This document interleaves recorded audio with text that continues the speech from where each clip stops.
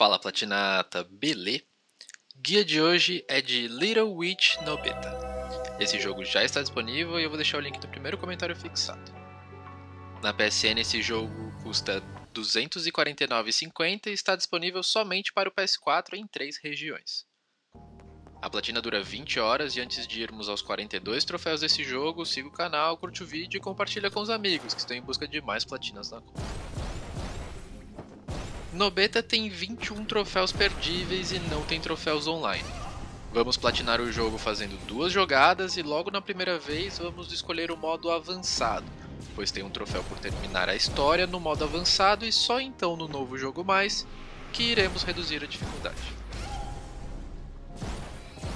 Para começar, siga andando pelo mapa, matando todos os inimigos e dominando tanto a esquiva quanto a absorção de magia dos inimigos. Quando estiver descobrindo o mapa, entre em todas as passagens com cuidado, quebre todas as caixas e até desconfie se aquela parede não é quebrável, especialmente nos túneis subterrâneos. Como em todo jogo do gênero Souls-like, temos as estátuas que são nossos checkpoints, e provavelmente sempre que você encontrar uma nova estátua, você terá almas suficientes para melhorar seus atributos. E vamos dar preferência para aumentar o nível na seguinte ordem: Inteligência, pressa, força, mana, vida e estamina.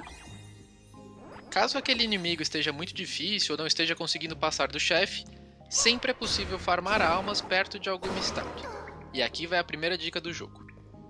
Quando você estiver quase morrendo e não quer perder suas almas, ainda que apenas uma pequena parcela delas que é perdida, você pode pausar o jogo rapidamente e retornar para a última estátua visitada. Esse método funciona tanto para evitar uma morte, como um rápido teleporte utilizando o menu do jogo. Agora vou deixar vocês com o restante da parte 1 do guia no vídeo, onde vamos matar alguns chefes, inclusive da passagem secreta. E deixa nos comentários caso você pretende platinar Little Witch no beta e queira a parte 2 desse guia. Por hoje é isso, valeu, falou!